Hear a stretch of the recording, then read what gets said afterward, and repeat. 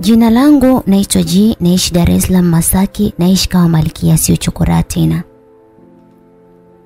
G anatuambia kwamba anaomba mumtegee masikio na umakini wa hali ya juu ili kujua mkasa wake. G anasema kwamba nilipokuja Dar es Salaam nilikuwa na miaka 19. Na nilikuwa sijui nakuja kwa nani.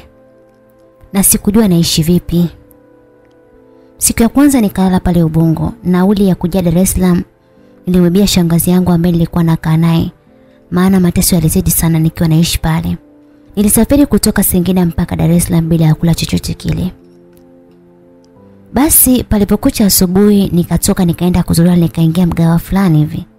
nikanua wali wa shilingi elfu moja na nilikuwa na elfu moja tu mfukoni. Niliposhiba nikaanza kushangaa shangaa pale.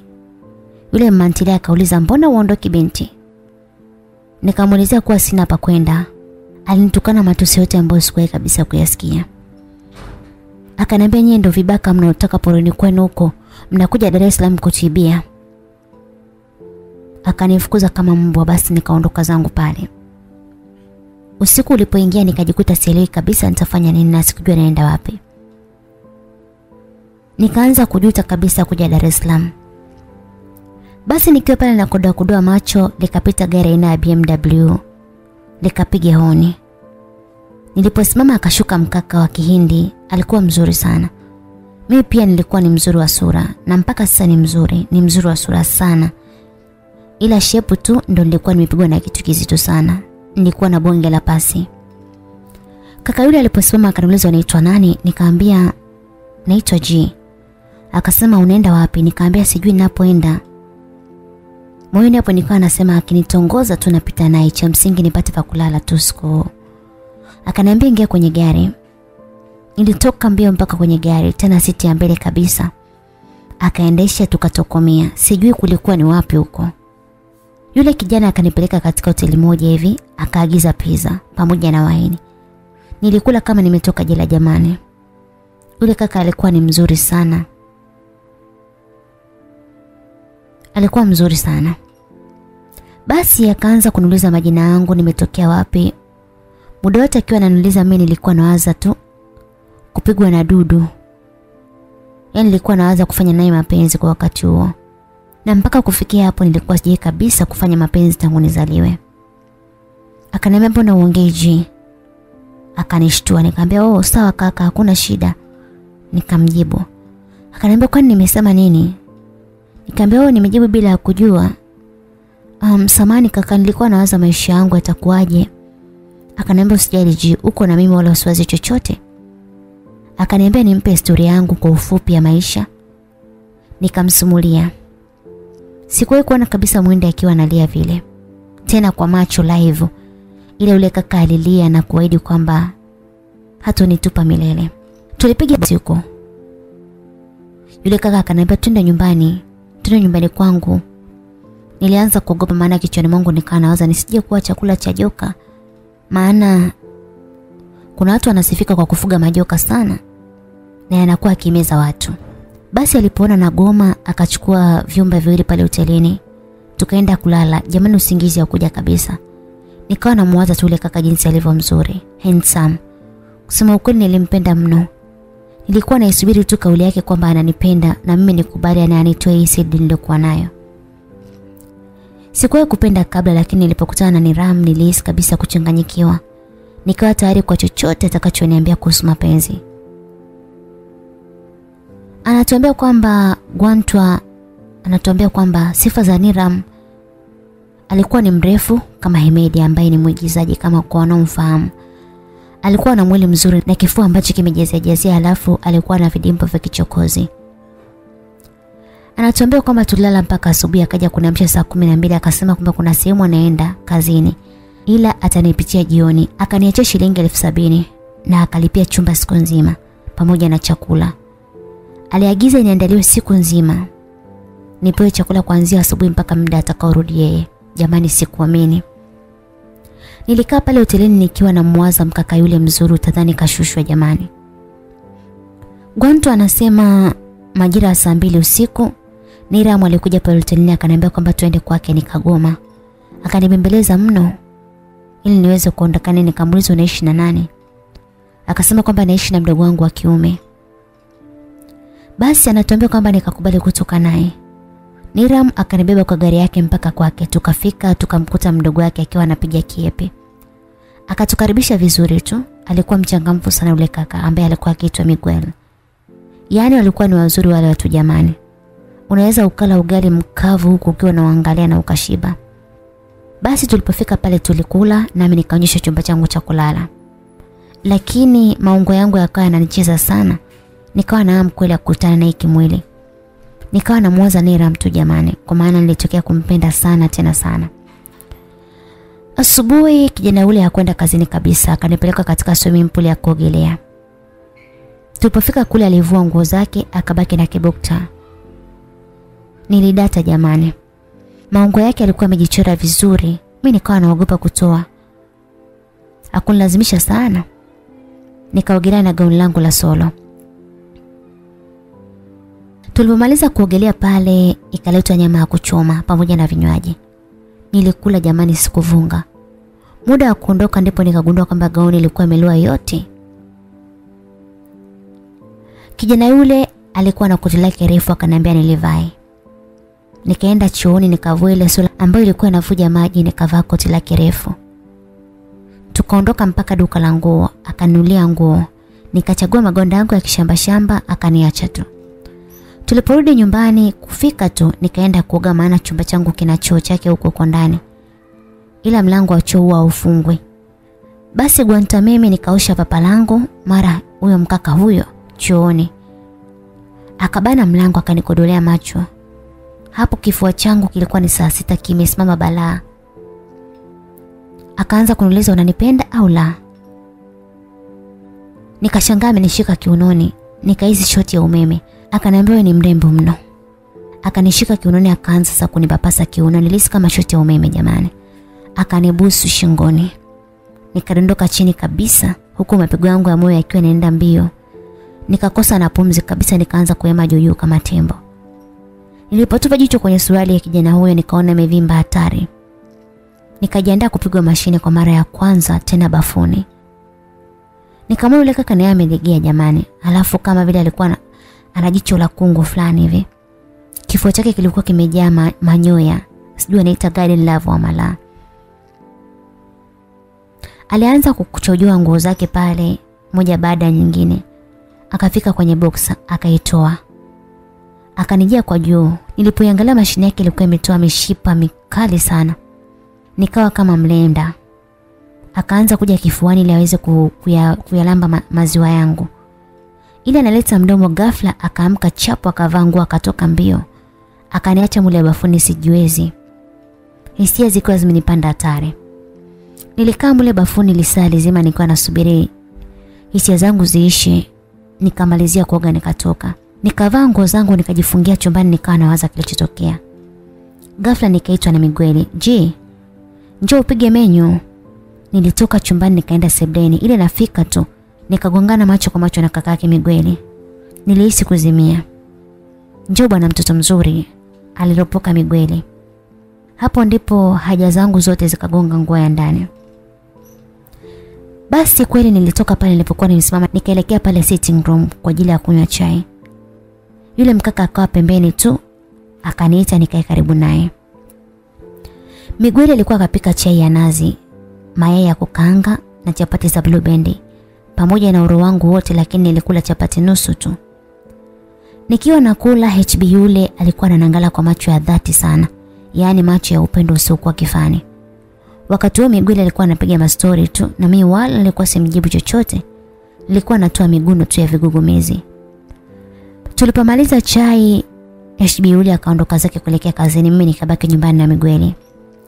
Tulibaki pale sabini tukiwa tunaangalia TV tena nakumbuka tuliweka channel ya komedi. Basi Miguel alikuwa anacheka mpaka anaanguka chini. Ghafla Migweli akazima TV akanigeukia akaanza kunisogelea taratibu. Mawazo yangu akanipeleka kwamba naenda kunyanduliwa tu. Akanivuta nje ya nyumba kulikuwa kuna eneo zuri sana lipo ndani ya geti hilo. Linavutia sana na ukijana ambao ulikuwa mahali pale. Akaniketisha chini akaanza kuniuliza maswali kama yote. Nilimwelezea historia yangu ya maisha naye pia alilia sana. Akaniuliza kuhusu mahusiano nikamwambia sijui kufanya ngono na mwanaume yoyote. Hakuamini. Akaniambia jina naomba uongee ukweli. Nilisimamia msimamo wangu basi akaanza kunipa saundi. Ji kakaangu ni mpole sana na ni mwenye huruma mno. Pia ana pesa. Lakini tatizo lake ni moja tu. Hajawahi kupata mapenzi ya kweli kwa wanawake weusi. Nyewe Tanzania wengi wengi wao wanampendea sana sura na pesa alionazo. Hawana mapenzi ya dhati kwake kabisa kitu ambacho kilichomfanya aishi miaka miwili bila mwanamke. Hivyo naomba kabisa uniambie, je, unampenda Niram kutoka ndani ya moyo wako? Je, upo tayari kuwa mmoja wa familia yetu na utuzalie watoto muishi maisha ya ndoa? Nilihisi kuchanganyikiwa maana targeti zangu zilifika penyewe. Basi mwingine aliponiambia vile nikavunga nikajifanya kama sitaki kuolewa na HB. Nikaambia bwana, Migwele naomba tu unipe muda ili niweze kufikiria maana hayo mambo sio kukurupuka. To be honest sikulala siku hiyo. Kwanza kabisa jioni Nira mwakarudi kutoka kazini akanikuta nimekaa nje kwenye nyasi. Akaninyatia akanipa kumbato la mgongoni. Nilihisi kufa jamani. Nilisikia raha ya ajabu sana. Akanambia are you good? Nikaambia yes. Niko poa. Akaniambia mbona unanionea aibu? Nikaambia hapana, niko poa kakaangu. Basi usiku wa saa mbili hivi wakaja watu wawili chumbani kwangu wakaanza kupiga stori. Nikawa najichekesha tu siwaangalie usoni. Walikaa chumbani kwangu mpaka saa sita, Migweli akaenda kulala nikabaki mimi na na kaka yake.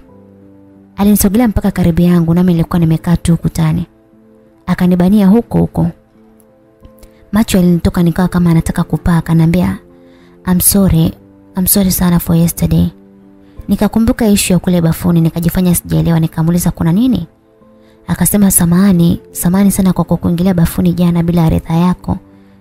Mimi sio mtu hivyo kabisa. Nikaambia usijali bwana. Akaniambia kesho tutaenda wote ofisini kwangu ukatembee. Nikasema sawa. Basi akanibusu katika uso wangu, akaniambia lala. Nilipolala akanifunika shuka akaniambia good night. Jamani nilijiona kama malaika mwenye bahati katika hii dunia. Niliwaza usiku kucha maana kiukweli nilitokea sana kumpenda Niram sio siri. Basi asubuhi Niram akanibeba mpaka ofisini kwake. Alipofika akamwomba bosi anitambulishe. Bosi wake akakubali. Basi akasema huyu bosi huyu ni rafiki yangu wa maisha. Nampenda. Ni rafiki yangu. Yule bosi aliniangalia kisha akacheka sana. Nilipata hasira nikajua yule bosi ananicheka mimi. Basi yule bosi alipomaliza kucheka akamuuliza HB huyo Nira. Umefall tena in love Nira? Niliangua kicheko sana, wote wakaanza kunishangaa. Walishangaa nilikuwa nacheka nini. Nilipoona wananishangaa nikaanza kuona hebu nikajifanya najikuna. Basi wakaendelea kuongea. Cha ajabu ni kwamba Niram akamwambia bosi wake kwamba sijafall bosi, huyu ni rafiki yangu tu. Nilikosa raha jamani. Nilikosa raha mno. Basi tukatoka pale tukaingia kwa mkurugenzi akamwambia kwamba huyu ni rafiki yangu pia na atakuwa akija hapa kunitembelea mara kwa mara hivyo msimuhisi vibaya. Kiukweli mabosi wa Niram wote ni wapole jamani. Yaani wako very charming. Tulipofika hapo nikaenda ofisini kwake tukakaa tukapiga story mbili tatu na baadaye kwenye saa nne hivi nikahisi njaa. Nikamwambia Niram, naomba nisidie pesa ili nikatafute cha, chai mtaani. Lakini cha ajabu ni kwamba Anira alifunga ofisi yake ili tu anipeleke nikapate chai. Basi tukawa tunatoka na nilikuwa nimebeba pochi yangu la ambayo nilikuwa nimebeba kwenye mkono. Niram akaniambia nimpe nibebe. Nikawaza moyoni, mbona huyu kaka ananionyesha mapenzi ya mahusiano kabisa, lakini amenitambulisha kuwa mimi ni rafiki yake tu. Nilinuna sana. Akaniuliza vipi unaumwa? Nikamwambia hapana. Basi akanibembeleza pale, akanipa maji yake ambayo alikuwa akinywa yeye nikanywa. Kusema kweli nilijisikia raha sana. Nilijisikia furaha ya ajabu kunywa maji ambayo tayari amenywa na huyo HB. Maana nilikuwa nampenda sana. Basi akanibebea pochi yangu ili tutoke kuelekea hotelini. Wakati tunatoka nje tulikuwa tunashuka ngazi za gorofa. Ghafla nikashtukia kibao cha mgongo alafu nikasukumwa kwa nguvu nikabiringika kwenye zile ngazi mpaka chini. Nilijikuta nimeumia mgongo. Niliumia sana. Nilipogeuka kuangalia nikajiuliza na maana ni huyu Niram ndo amenisukuma kiasi hiki. Nilijiuliza maswali mengi kabla sijageuka kwamba nimemkosea nini mpaka nisukume vile sehemu hatari kama ile. Nilijisikia vibaya sana. Nilipogeuka kuangalia sikuamini macho yangu. Mwanaume yule alikuwa akizozana na mwanamke fulani mrembo sijapata kuona. Yule mwanamke alikuwa ni mzuri mno, alivalia sketi yake fupi sana ya kijani pamoja na kishati cha cream. Chini alivaa high heels ndefu za rangi ya maruni. Kiukweli alipendeza sana na uso wake ulijaa makeup na kope ndefu mithili ya mwavuli wa tigo. HB yule alikuwa akimlaumu mwanamke yule aitwaye Karen kwamba kwa nini amenisukuma bila sababu. Sikuamini masikio yangu mwanamke yule alipomjibu HB kuwa kwa hiyo upokee simu zangu kwa ajili ya ile mbuzi yako pale chini. Yaani Niram unaongozana na nuka mkojo machoko tu. Unaniacha mimi ofisini. Unatoka na ule kambare. Niram alimpiga kofi. Sikutaka kabisa kushuhudia. Nikageuza shingo yangu pembeni. Mwanamke yule alianguka chini na kuanza kulia ghafla Niram akamuinua na kumwomba radhi kwamba hakutaka kumpiga na huwa apigi kabisa wanawake. Ila kauli zake chafu ndo zimemfanya akampiga. Yule mwanamke aliniangalia kwa jazba kule chini nikiwa nimekaa na ugulia maumivu ya mgongo. Akaniambia kwamba jiandae kuzikwa maana nitakufanya kitu ambacho hujawahi kukisikia wala kushuhudia. Niliogopa sana kisha yule mwanamke akaondoka. Niramu akanifuata pale chini. Akaniangalia kisha akaninyanyua na kuanza kuniomba radhi huku akitoka na vimachozi. Nilimwambia kwamba hamna shida. Nilipoinuka nikashindwa kabisa kupiga hatua. Niram aliniinua na kunibeba. Kati ya siku ambayo nilijihisi malkia wa Uingereza ni siku ile. Kikweli sikuwaza kabisa kuhusu maumivu yangu ya mgongo, ila niliwaza tu kitendo cha mimi kuibeba na Niram mpaka kwenye gari na kuendesha kuelekea hotelini. Tulipotoka hotelini, Niram akamwita mhudumu akaagiza chai nzito ya maziwa na chapati za Blue Band pamoja na supu ya kuku wa kienyeji. Nilikula kwa kuumia kwa sababu nikikumbuka maneno ya Karen pale ofisini, niliishiwa nguvu kabisa na kujiona kabisa nenda kumkosa shibi wangu Niram. Kikweli nilijikuta natoa machozi. Alipoona machozi yangu akanibembeleza sana na kuniomba radhi. Kilichofuata zaidi hapo alipiga magoti na kulia huku akiomba nimsamehe kwa ajili ya ule mwanamke. Watu waliokuwa pale hotelini walimshangaa maana alikuwa ni mkaka mzuri sana, amependeza mno na anaonekana ni mtu mwenye pesa chafu tu. Wakati huo mimi mwenyewe ni binti mwenye ngozi ambayo ilikosa matunzo, imefuba mshamba mshamba tu. Kikweli ulikuwa ukiniona kwa wakati ule, muonekano wangu ulinielezea mimi ni nani na nina hali gani. Basi baada ya kula tuliondoka pale na kuelekea Mlimani City. Sikujua kwamba Nira mwalinipeleka pale kwa ajili ya nini. Basi tulipofika nikaanza kushangaa maana sio kwa uzuri wa mahali pale jamani. Akachukua wine na vibaiti vingi vingi tu, akachukua na zile ice cream za kulamba. Akanipa moja tukatoka. Tulipofika kwenye gari akaniomba nimlishe nikamlisha. Naye akanilisha. Nilikuwa naona viaibu pale kisha akanisogezea mdomo wake ili anibusu. Hisia zangu zikahama kabisa. Nikaanza kuhisi mapenzi mazito. Akawa anasogea sogea anasogea anasogea wewe nikajifanya na mimi mgongo na nyuma. Akaniuliza unauma sana? Nikamwambia ndiyo, akawasha gari mpaka hospitali. Tulipofika akampigia simu nesi mmoja akaja chap. Yule nesi alipofika akambusu mdomoni HB wangu jamani. Nikaanza kulia pale pale. Akamwambia hapana, naomba ufanye kazi yako. Ji nyamaza. Nyamaza mama. Unalia nini bwana? Eh? Nikamwambia naomba nipeleke nyumbani. Akaniambia tupo hospitali, unatakiwa upate matibabu kwanza. Akaambia yule nesi naomba usinivunjie heshima yangu. Nilishakwambia sikuhitaji na sipo tayari kabisa kufall in love na wewe kwa sababu nakuchukulia kama rafiki. Kama hutaki nije hapa kazini kwako naomba niambie. Basi nikajikuta moyo wangu unapoa baada ya kusikia Niramu akimwambia yule nesi hivyo. Nikajikuta mwepesi. Yule nesi akanichukua akanipeleka chumba cha matibabu. Alikuwa ananisukuma sukuma ovyo jamani, mara geuka, leta mkono, kunja ngumi, leta mkono, nyanyua mguu. Yaani naumwa mgongo lakini nilipimwa mpaka UTI na fungus. Akanipa dawa. Nila mwakaja akamlipa akamwambia kwamba sihitaji pesa yako. Yule nesi akaondoka, akatuacha pale ofisini kwake. Hata hatukuagana. Niram ni mkaka ambaye yupo very charming. na ana busara sana. Alizichukua zile pesa akaziweka pale mezani kwa yule dada na tukaondoka. Tulipofika pale ofisini kwake anapofanyia kazi Niram, tukamwaga bosi wake tukaondoka. Hatukutaka kabisa tuende nyumbani moja kwa moja. Tukaenda sehemu moja hivi pana utulivu mkubwa sana. Niram akachukua vile vinywaji ambavyo tulivyotoka navyo Mlimani City. Akaomba glasi kwa hudumu akamimina vile vinywaji. Maongezi yakaanza. Siku ya HB aliniangalia kwa zaidi dakika nane. Pia mimi pia nilimwangalia kidogo nikakosa ujasiri wa kumwangalia nikainama chini. Sikujua Niram alimaanisha nini kuniangalia kwa muda mrefu kiasi kile. Alianza kuangusha chozi hapo. Ndipo na mimi pia nikaanza kulia maana kusema ukweli nilikuwa tu emotional kumwona kijana mzuri kama yule na tajiri kama yule akimwaga machozi mbele yangu. Alianza kuongea maneno mazito ambayo yalioshibisha mifupa yangu. Akaanza kusema kwamba ji wewe ni binti mdogo na mrembo sana. Sina budi kukupa sifa zako kwani unastahili hilo.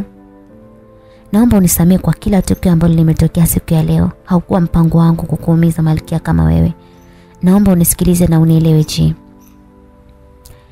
Um, Karen ni mwanamke ambaye nilimpenda kuliko hata maisha yangu. Nilimfanyia kila kitu ambacho alihitaji kama mwanamke. Nilimhudumia kuanzia yeye mpaka ukoo wake mzima. Lakini malipo alionipatia ni siri ya moyo wangu. Karen aliua damu yangu iliyokuwa ndani ya tumbo lake. Karen alitembea na mzee ambaye ni sawa na babu yake ili kunikomesha kwa sababu ya mapenzi yangu kwake. Sikujali udhaifu wake, nilimsamehe lakini sikujua kama kumsamehe kwangu ndio ilikuwa chachu yeye kunitesa zaidi. Kubwa zaidi ni kwamba Karen alidiriki kumtongoza Migweli. Migweli akaja kuniambia na kunifanyia counseling ili niachane naye na hapo ndipo niliamua kumwacha mwanamke yule. Lakini mpaka leo haamini kama nimemwacha.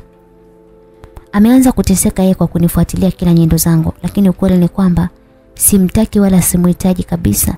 Nilishamtoa moyoni mwangu. Hapo nikajisikia kama nimetoa mzigo kwa kweli. Kiukweli maneno ya Niram yalinipa nguvu ya ajabu. Sikutaka kuishia hapo, nikamuliza kuhusu ile nesi kule hospitali. Ji, yule nesi anaitwa Harin. Ni mwanamke ambaye amekuwa akinipenda tangu nimejuana naye, lakini bahati mbaya hisia zangu zipo mbali kabisa na yeye. Sijawahi kumpenda hata kidogo. Hivyo anaumia sana juu yangu. Je, nikwambie kitu? Moyo wangu nampenda mtu mwingine kabisa. Siwezi kutesa hisia zangu juu ya mwanamke huyu nimpendaye. Niko tayari kumfanya mama wa wanangu na mwandani wangu aujue utu wangu na mimi niujue utu wake. Siko tayari kufanya naye mapenzi kabla ya kumoa. Nampenda sana. Na huyo mtu ni mtu mwenyewe ni wewe Ji. Please naomba usinikatae. Wallahi nilijihisi kuparalyze maana ni kauli niliyokuwa nikisubiri kwa muda mrefu sana jamani. Nilishangaa tu machozi yakinitiririka machoni mwangu maana sikuamini nilichokisikia pale. Basi HB wangu akaendelea kujielezea. Ji, tangu siku ile nimekuona pale barabarani, nilihisi upendo ndani yangu. Siku ile nilipokukimbia bafuni si kwamba nilikudharau hapana, bali sikutaka kukutumia mapema kiasi kile. Sina kabisa tabia hizo, sina kabisa tabia hizo please. Naomba nikubalie ombi langu, sitaki kabisa kukuchezea, bali kukufanya mama wa mwanangu, mama wa watoto wangu. Kiukweli nilihisi kama ndoto.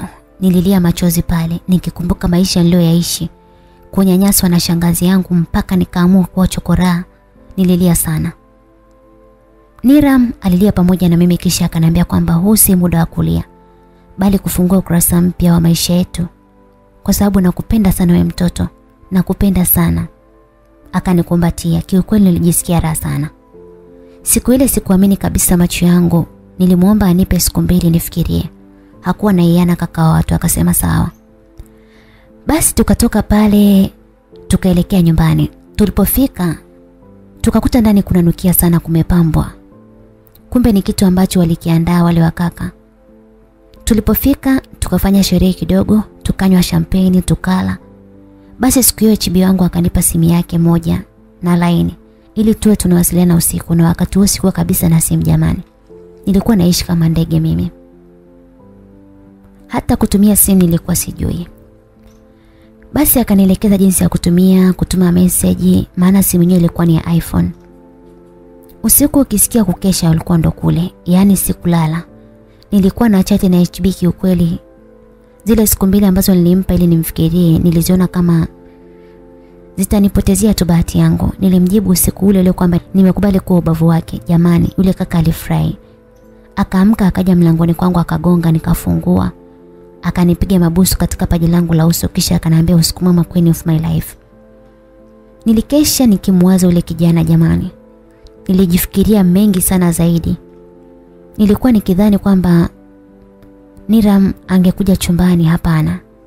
Nilikuwa nikidhani kwamba Niram basi angekuja chumbani basi tungefanya mapenzi, lakini hakuwa hivyo. Kiukweli sijuti kabisa kumfahamu huyo kaka. Basi asubuhi Niram alielekea kazini, mimi nikabaki nyumbani. Nikiwaza nimwandalie chakula gani kijana yule afurahi. Basi nilienda mezani nikakuta shilingi elfu tano. Nikaenda kununua kuku na maviazi. Nikaita mpita njia akachinja, nikamchemsha, nikamrosti, nikapika chips kuku. Nikajipikilisha pale, lakini mida ya saa sita nikamtumia message Niram, karibu chakula kaka. Kusema kweli nilikuwa sijaamini kabisa kama kweli nimeanza mahusiano na HB huyo. Baadaye akapiga simu akaniuliza umeniita nani? Siku nikikuzalisha mtoto ndo utajua kwa mimi ni mume mtarajiwa.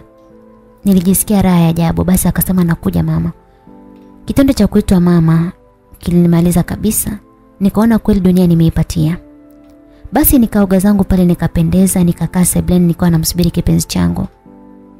Niramu alipokuja lakini alipofika tu kama kawaida nikapewa busu la mdomoni. Nilikuwa naona aibu sana lakini moyoni nilikuwa nikifurahia hatari. Alifungua hotpot akaona makuku yamekaangwa vizuri sana na chipsi. Akaonja. Alichukua paja la kuku akalionja, akanilisha. Nilifurahi sana. Alinisifia mno kwamba mimi ni mpishi mzuri. Tukiwa tunakula nikamuliza kuhusu wazazi wake. Niramu akaniambia kwamba wazazi wake wapo lakini wanaishi Argentina. Kwa hiyo tutaenda huko nikafahamiane nao. Kiukweli sikuamini kwamba mimi naenda kupanda ndege. Ji mimi ambaye hata kupanda baisikeli ilikuwa ni tabu. Eti nijiandae kupanda ndege. Niliona ni muujiza ambao ulinitokea nikiwa na dhiki. Siku zikasonga, Nira mwakanisini nimwambie shangazi yangu kwamba anataka kunioa. Basi nikatafuta namba ya shangazi nikampigia nikamweleza. Nataka niongee na huyo bwana wako, shangazi akanambia. Chajabu shangazi akamwita HB mpaka Mbeya. Eti akamuone. Basi bila iana nikaandaa safari kwa ajili ya kwenda Mbeya na Niram. Chajabu ni kwamba shangazi akawa hataki mimi niende. Eti aende tu ni Ram peke yake. Hapo nikagoma nikasema we hata kwa kupata taarifa hii ni kwamba tunakuheshimu. Kwa ambao ulinitendea sikupaswa kabisa kwa kushirikisha chochote. Basi shangazi yangu akakubali niende pamoja na Niram. Tukaichukua gari yetu tukaanza safari kuelekea Mbeya. Shangazi yangu ana mabinti wawili. Wa kwanza ana miaka 29 na wa pili ana miaka 23. Tulisafiri mpaka jijini Mbeya tukafika mida ya saa nne usiku. Moja kwa moja tukaelekea kwa shangazi. Tulipofika tukakuta wameshalala. Nilijaribu kugonga mlango lakini haukufunguliwa. Niligonga kwa nguvu mpaka nikachoka. Tukawapigia simu lakini hakuna ambaye alipokea simu. Na ukizingatia chumba cha shangazi kipo karibu kabisa na mlango wa nje. Hivyo ilikuwa ni rahisi kwake kusikia mlango ukiwa nagongwa lakini hatukufunguliwa. Niram alishangaa mno na akauliza huyu ni ndugu yako kabisa au ni mtobaki? Kiukweli sikumjibu zaidi ya kudondosha machozi tu. Lakini Niramu akanisini siwe mnyonge ipo kwa ajili yangu. Akasema tuingie kwenye gari tutalala humo. Basi tukaingia kwenye gari tukalala humo lakini Niramu hakulala mpaka kulipopambazuka. Akawa wa kwanza kabisa kuamka na kutoka nje ya gari. Basi akawa anazunguka zunguka kuangalia mazingira ghafla mlango ukafunguliwa akatoka mtoto mkubwa wa shangazi Zaituni. Alikuwa akiitwa Zaituni. Zaituni akatoka nje akamkuta HB wangu akiwa nje akaanza kumtukana. "We kaka vipi? Umetumwa au? Unawanga hapa kwetu asubuhi hii? Toka huko. Au nikuitiwe mwizi? Toka." Jamani Niram alibaki anashangaa tu. Alibaki kushangaa tu maana haelewi cha kufanya. Basi Zai alipogeuka upande wa pili ndipo akaona gari yetu na mimi nikiwa natoka ndani ya gari. Akaanza kujishaua pale, "Oh, eti samani kaka, sikujua kama yeye ndo mume wetu, karibu sana kipenzi." Sikumwelewa yule binti alikuwa na maana gani. Akamwambia chibi wangu karibu basi ndani. Mimi nikaingia mpaka ndani. Dada hakunipa salamu kabisa, akaenda kumuita shangazi. Shangazi alipokuja akasema hamjambo wazima. Tukasalimiana pale. Shangazi akamuita mwanae wa pili ambaye anaitwa Martha. Akaja basi tukakaa pale sebleni. Nikamwambia shangazi kwa nini? Akaanza kunitukana. Wewe una kiburi sana mpuuzi wewe. Huna utii hata kidogo. Huyu kaka utamsumbua tu. Hebu toka nje niongee na kijana wangu. Nikafukuzwa nje. Yeye akabaki na wanae wawili pamoja na ishibi wangu wakiwa ndani. Shangazi aliponifukuza nje alinitoa nje kama saa mbili asubuhi. Wakajifungia mlango, wakaja kufungua mlango saa saba mchana. Mlango ulipofunguliwa na shangae HB ambaye ni Niram anatoka macho ni mekundu amekasirika sana. Alipotoka tu akanikimbilia na kunikumbatia kisha akasema tuondoke. Nikawa najiuliza eh, vipi kwani nilikuwa namuuliza maswali akanivutia kwenye gari mara shangazi huyo akaanza kunitokana. Weka haba, huna chako hapo. Kwa uzuri gani uolewe na kaka mzuri hivyo? Huna chako mbo wewe. Huyo ni mume wa mwenzio. Hakumtaja jina, nikabaki na shangatu. Mwenzangu nani? Niram aliendesha gari usiku kucha tukafika Dar es Salaam mida saa nane mchana. Wakati wote huo Niram alikuwa amenuna njiani. Haongei chochote nikamuuliza kwani amekufanyaje hani? Akasema tukifika nyumbani nitakwambia. Basi baada ya kufika Dar es Salaam Niram akanichukua mpaka duka la nguo. Akanulia nguo nyingi sana. Sikujua alifanya vile kwa nini. Tulipotoka pale dukani akanipeleka sehemu ya urembo huko. Pia nikanunuliwa cheni, mikufu, hereni za dhahabu. Mara nikapelekwa sehemu ya viatu. Nikachagua pia saba tukaondoka. Akanipeleka benki akatoa milioni kumi akanipa. Sikuamini maana sikujua kwamba alikuwa akifanya vile kwa nini. Nilichanganyikiwa mno ukizingatia sije kabisa kumiliki hata elfu thelathini mkononi. Nilipozishika zile milioni kumi niliona kama ndoto. Tukatoka pale tukaelekea hoteli fulani hivi ndipo Niram akachukua kinywaji.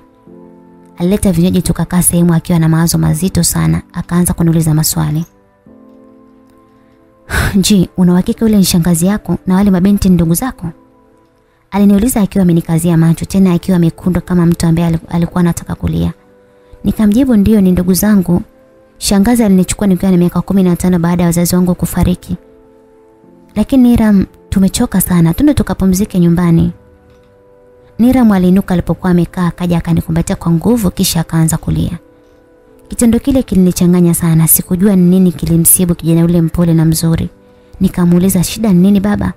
Niambie basi ume, umenifanyia shopping ya ghafla sijakuelewa. Umenipa hela. Ni kwa nini unafanya hivi? Akaniangalia kwa jicho la huruma kisha akaniuliza, "Je, unanipenda kwa kiwango gani?" Nikamjibu Niram, "Nakupenda sana Niram, yani nakupenda sana nashindwa hata kuelezea." Akaniuliza, "Unaweza kustahimili maumivu kama nikikwambia linalonisibu?" Nikapata mshangao wa hatari. Moyo wangu ukaanza kwenda mbio. Nikamwambia, "Sawa, niambie." Lakini hapo moyo wangu ulikuwa unaenda mbio hatari. Yaani haja kubwa laini ile ilikuwa inajitengeneza choo kikubwa kilikuwa kinagonga nguo yangu ya ndani na mkojo umenifika yani mkojo, ulikuwa unataka kutoka akaniambia ji shangazi yako ni mtu mbaya sana kitendo alichonifanyia najuta kwenda kule. Nikamuuliza kwa hamaki amekufanyia nini Niram Niram akasema ji naomba unisamehe. Jana nilibakwa pale kwa shangazi yako. Ji nilibakwa jana pale nyumbani kwa shangazi yako. Kiukweli kusikia vile nililia kama kichaa, nilivurugwa, nilipiga yowe, nilijitupa chini. Wateja wa pale hotelini wakaja eneo ambalo tulipo sisi wakaanza kuuliza shida nini. Niram alikuwa hawezi hata kuongea, amekaa tu kwenye kiti machozi yanamtiririka. Niliwahi kuumia kwenye maisha yangu lakini siku ile nilihisi moyo unavuja damu.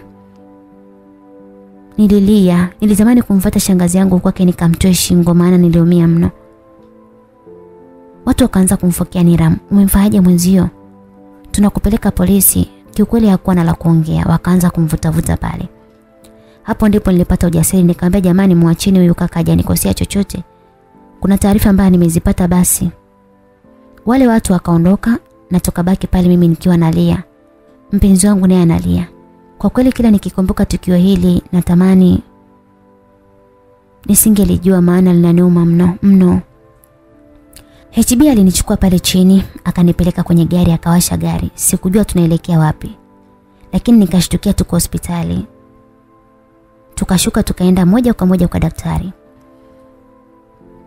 Mpenzi wangu akamwita daktari mbele yangu kisha akasema daktari, naomba utupime ukimwi na utupatie majibu yetu na baada ya miezi mitatu tutayafata majibu yetu. Akasema ji, nikigundulika nimeathirika basi nitakupa utakachokihitaji ili uende ukaanza maisha yako. Lakini ikiwa wewe umeathirika, nitaishi na wewe milele sitakuacha. Tukaondoka kuelekea nyumbani na tulipofika tu nikaanza maswali. Aliyekubaka ni nani kati ya wale watatu na ilikuwaje? Alianza kunisumulia huku akitoka na machozi. Akaniambia kwamba ji, ulipotoka nje tu shangazi yako aliwaamuru wale mabinti wake wavue nguo wakabaki uchi. Kisha akaniambia endapo nitakataa kufanya anachokitaka basi nitaishia pale ndani na, na sitaonana tena na wewe. Aliniambia kwamba nataka uchague kati ya hao mabinti ni upi umempenda. Wakanilazimisha mno lakini sikumjibu chochote. Wakanivamia wakaanza kunivua nguo.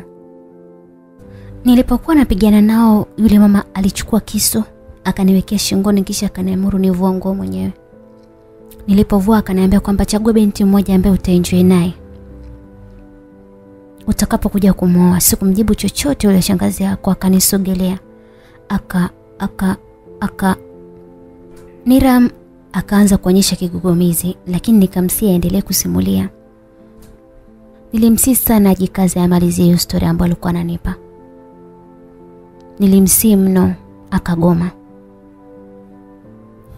Akagoma kusema lakini nilikomaa hapo hapo aniambie shangazi alimfanya nini? Ndipo akaanza kusema shangazi yako akanisogelea akaanza kuninyonya uume kwa sababu hata wale mabinti walivyokuwa wamekaa uchi sikusisimka na chochote maana hakuna nilemtaka pale. Shangazi yako akaninyonya uume wangu mpaka akasimama. Ndipo alipoamuru binti yake mkubwa alale na mimi. Walinivuta mpaka chumbani kwa shangazi kwa shangazi yako nadhani maana sina hakika. Wakaniamuru nilale wakiwa wameshika visu. Ndipo binti ule akanikalia juu mbele ya mama yake pamoja na mdogo wake. Jamani nilipiga ukunga pale ndani mwe. Yaani nililia mno wakati ule kaka akinisimulia hayo. Shangazi yangu popote pale na kulaani ufe, ufe tu. Akaendelea kusema kwamba baada ya yule binti kumaliza, shangazi akaamuru binti mwingine kunipandia. Ndipo yule binti akapanda. Wakati akaendelea kufanya mapenzi, nilisikia shangazi akisema atakayefanikiwa kunasa mimba yake, huyo ndo atanisaidia kutajirika kupitia mtoto. Nililia wakati HB wangu akinisimulia, nililia mpaka nikapoteza fahamu. Nilijikuta nipo hospitali. Basi Niramu akanihudumia pale mpaka nilipotoka tukaelekea nyumbani. Lakini akili yangu haikufanya kazi kabisa, nikawa kama chizi kabisa. Kiukweli kitendo alichonifanyia shangazi kilinivuruga kabisa. Nilikaa ndani kwa muda wa miezi minne, ndipo HP akaamua kunitafutia kansela wa kunisaidia kurejesha akili yangu katika hali ya kawaida. Ingawa sikuwa sawa. Nilikuwa nawaza mambo mengi mno, mno. Binti mkubwa wa shangazi wangu aliwahi kutembea na mwanamume mwenye ukimwi. Kitu hicho kilinivuruga kila nilipokuwa nikimwangalia Niram. Kilinivuruga sana. Siku moja Niram aliniandaa akasema tunatoka na sikujua tunaelekea wapi. Akaendesha gari nikashangaa tunaingia hospitalini pale ambapo tuliacha damu zipimwe. Zipimwe ukimwe Tulipofika pale HB akaambia daktari kwamba atupime upya. Kiukweli sikuwa na matumaini na Niram kama ni mzima. Lakini nilikuwa tayari kwa lolote hata akiathirika nitaishi naye tu maana nilikuwa nampenda sana. Daktari akatupima kisha akatuita kuchukua majibu yetu. Hakuna wakati mgumu kama wakati wa kusubiri majibu jamani. Niliogopa mno. Nilihisi kama vile nakufa. Sikutamani kusikia taarifa mbaya ambayo inamhusu Niram. Mimi nilijiamini maana sikuwahi kabisa kufanya mapenzi kabla. Tulipoketi ndipo daktari akaanza kutoa nasaa. Niliposikia hivyo nilizidi kuchanganyikiwa. Daktari akauliza niwape msome au niwasomee. Niram akasema ah, tupe tusome wenyewe. Daktari akatupatia ile majibu. Sikuamini macho yangu nilipoona ripoti ya daktari kwamba sote tu wazima. Hakuna ambaye aliathirika. Jamani nililia. Nililia kwa furaha mimi. Nilimkumbatia mwanaume yule ambaye alikuwa akitokwa na machozi tu. Kusema ukweli, sijui kuona mwanaume mwepesi kulia kama yule. Niram alikuwa ni mwepesi mno kulia. Yaani akiona kitu ambacho kinahuzunisha basi anakuwa emotional sana mpaka anatoa machozi. Nilifurahi pale tukakumbatiana zaidi ya dakika ishirini mpaka daktari alipotushtua. Tuliondoka pale hospitali na kuelekea nyumbani. Huko tuliweka kasherehe kadogo. Tukachoma kuku pamoja na vinywaji tukifurahia ushindi wetu. Usiku Niram alinifuata chumbani kwangu na kuniambia kuwa anataka awaambie wazazi wangu kuhusu kunioa. Nilifurahi sana tena sana. Nilijiona tayari nimeshaolewa, yani nilikuwa tayari hata kwa wakati ule jamani. Tulikuwa tunapiga story ghafla simu ya Niram ikaita. Kulikuwa kuna namba ngeni, akapokea. Alipokea kaka watu bila yana yoyote, akaweka loudspeaker. Maana mara nyingi akipokea simu mbele yangu anaweka loudspeaker. Ilikuwa ni sauti ambayo ilipenya ndani ya moyo wangu, ikavuruga bongo wangu. Nikatamani muhusika anayeongea kwenye simu. Sijui ningemfanya nini kwa sababu nilichokitamani pale akifaya hata kusema. Ni mtu ambaye ninamchukia kutoka ndani ya moyo wangu. Ilikuwa ni sauti ya shangazi ambaye alikuwa akifoka na kusema kwamba kwa nini hujanipigia simu tangia umeondoka? Anamlalamikia Niram. Niram akakaa kimya akimsikiliza. Yule shangazi akaendelea kusema kwamba unajua binti yangu ana mimba yako na huulizie hata. Eh? Wakati unamfanyia utumbo wako ulitegemea unamwaga mchuzi au? Eh? Tuma hela za matumizi haraka sana kabla sijamwambia huyo mkeo ji. Kiukweli nilipata hasira. Nilimtukana ule mama kwenye simu hadi akakata simu. Akatuma message eti kapimeni ukimwi mbwe hanyie. Nikawaza je ikiwa ni kweli yule binti akiwa na mimba nitafanyaje? Akili kanijia fasta nimtumie vibaka huko huko mkoani wa mtoa hiyo mimba au nifanyeje? Nikiwa nawaza Niram mwakanishtua na kusema hakuna kitu kama hicho. Yule binti hawezi kuwa na mimba yangu. Hizo ni hila za shangazi yako tu anataka pesa. Niram akaniambia kwamba atatuma watu wake hadi mkoani wakapeleleze kama ni kweli ana mimba. Nikamuuliza kama ni kweli utaamua nini? Akajibu kama ni kweli basi nitamtumia watu wamtoe kwa nguvu. Nilipata mawazo sana. Mawazo yakanifanya nikonde zaidi. Niram alianza kubadili namba ya simu kukwepa usumbufu wa shangazi ambaye alikuwa akituma meseji kila kukicha anataka pesa za kumhudumia mwanae mjamzito. Niram aliwataarifu wazazi wake kuwa anataka kuoa. Kwa kuwa wazazi walikuwa mbali basi wakaomba picha tu. Akawatumia picha yangu. Baba yake alifurahi sana. Lakini mama yake alianza kukataa kuwa kwa nini awe mtu mweusi. Niram akasimamia msimamo wake na hatimaye mama yule akakubali. Watu waliowatuma kufuatilia kama binti mkubwa wa shangazi yangu ana mimba walibaini kuwa binti yule hakuwa na mimba. Hivyo furaha ikawa kubwa sana kwa upande wangu. Tulifunga ndoa babu kubwa jamani. Ndoa ilifana, nilipendeza kama malkia. Sherehe ilinoga mno na baada ya mwaka mmoja binti mkubwa wa shangazi yangu alifariki kwa ukimwi. Niram na mimi tuna watoto wawili na tunaishi kwa raha starehe. Mwanangu wa pili ana miezi minane na kiufupi ni kwamba ninaenjoy sana maisha. Pamoja na magumu yote niliyoyapitia ji mimi lakini kwa sasa hivi nakula raha. Yote kwa yote ji anasema kwamba namlaani shangazi popote alipo. Mpendwa msikilizaji, na huu ndo mwisho wa simulizi yetu nzuri iliyokuwa ikijulikana kwa jina la Gwantwa. Mtunzi na mwandishi wa simulizi hii si mwingine bali ni Briana. Anapatikana kwa nambari 0625 89 3518. Endelea kuwa nasi hapa Simulizi Mix Channel. Kuendelea kupata burudani nyingine nzuri na nyingi kutoka kwa wasimuliaji mbalimbali mahiri wanaopatikana katika Simulizi Mix Group. Asanteni kwa kunisikiliza na niwatakie usikivu mwema. Kwaherini.